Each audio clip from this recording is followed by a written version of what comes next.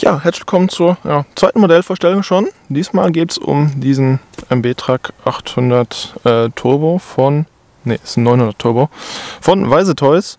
Ähm, diesmal kein neues Modell, weil ich kann mir halt nicht alle zwei Wochen ein neues Modell kaufen. Geht eben irgendwann auch ins Geld. Ähm, ja, von Weise Toys habe ich damals, glaube ich, für sagen wir 40 Euro bei Amazon bestellt. Ähm, ja, ich komme direkt zum Punkt. Es geht ums Modell, nicht wo ich das Teil her habe. Gebaut wird das mittlerweile, glaube ich, auch schon gar nicht mehr, aber egal. Ich mich, arbeite mich einfach von vorne nach hinten, was mir so aufgefallen ist, was mir auffällt, was mir gefällt, was nicht. Ähm, Jetzt am Anfang ist ein Frontdreieck dabei, sieht ganz nett aus, ist halt ein Dreieck, braucht man nicht viel zu sagen. Hinten gehört eigentlich auch noch ein, ähm, eine Ackerschiene dabei, habe ich aber gar nicht dabei, gibt's aber. Ähm, ja, fangen wir vorne an. Kühlergrill ähm, ist eigentlich so eine durchsichtige Platte, schimmert ein bisschen komisch, ist kein richtiger Grill für einen Maßstab, aber in Ordnung. Ähm, Fronthydraulik geht runter, geht hoch, Oberlenker lässt sich auch bewegen, genauso äh, rausdrehen, was eigentlich ganz nett ist. Ähm, ja, habe auch sonst nicht viel zu sagen. Rahmen sieht auch ganz nett aus. Beleuchtung, also Lichter hier, äh, haben ein richtiges Plastikteil statt nur aufgemalt. Hier sieht man drin, äh, ich glaube, man sieht es ein bisschen, ist schon detailliert, detailliert bemalt. Ähm, ja, ein bisschen unsauber, aber insgesamt ganz in Ordnung.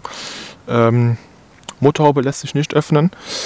Ähm, was mir aber dafür aufgefallen ist, ist hier im Innenraum, na, im Innenraum ist gut gesagt, es geht um den Motor. Nämlich ist dieser in so einem Grauton gemalt.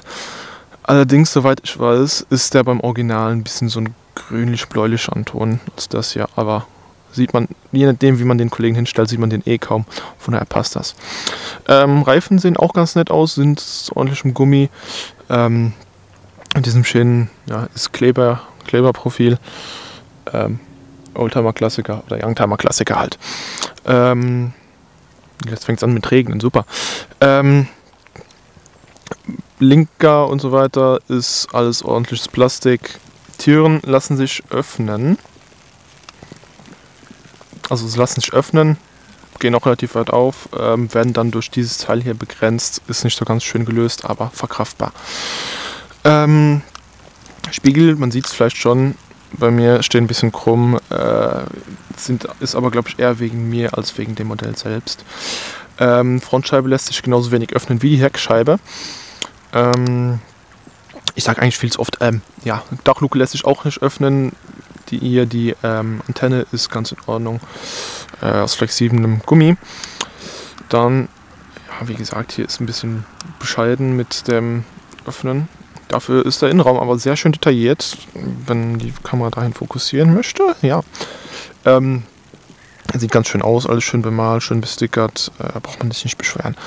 Ähm, ist viel Metall insgesamt auch dran verbaut, gibt wertig, also ist, fühlt sich recht wertig an. Hinten Ladebridge ist auch schönes Riffelblech, äh, wie sich das halt so beim Original auch gehört. Ähm, hinten gibt es ein Nummern, Nummernschild, vorne übrigens auch, ne, hier oben auf der Kabine. Auspuff ist übrigens auch ganz schön ausgearbeitet, finde ich.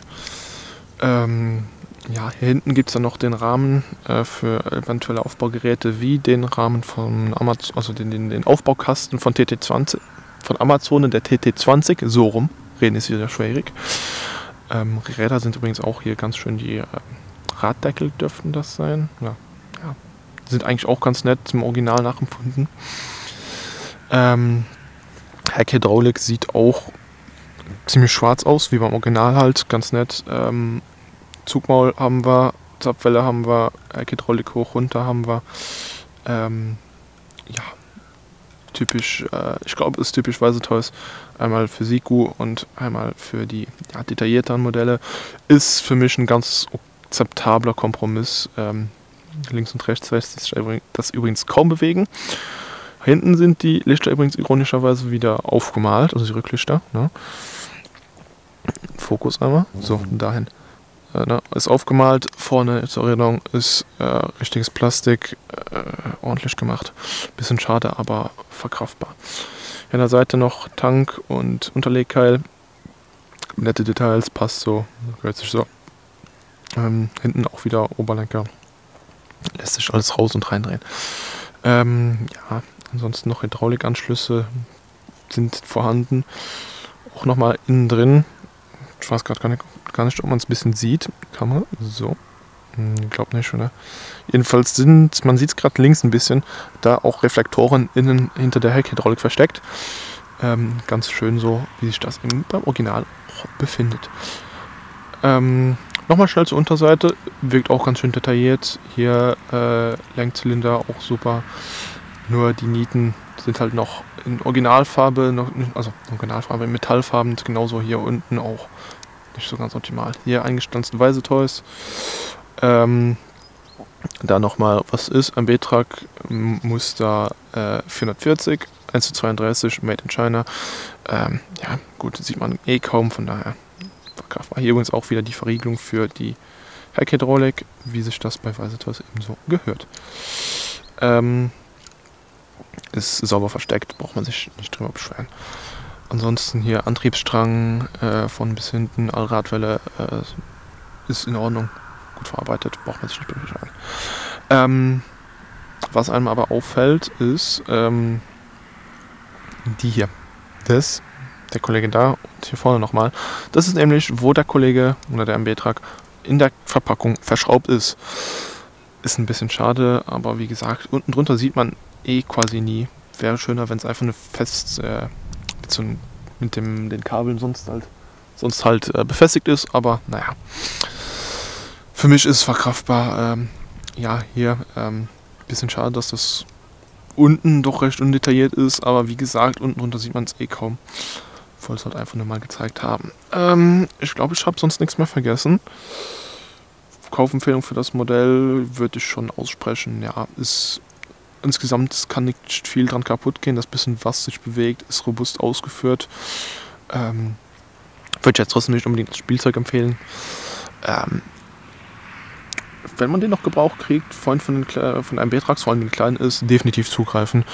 Ähm, ansonsten würde ich sagen, vielen Dank fürs Zuschauen. Ich hoffe, es hat euch gefallen, das kleine Review oder die kleine Vorstellung. Ähm, ansonsten würde ich dann sagen, Kommentar könnt ihr gerne da lassen falls ihr Kritik habt oder sonst noch irgendwas ist. Und ansonsten dann, vielen Dank fürs Zuschauen und bis zum nächsten Mal.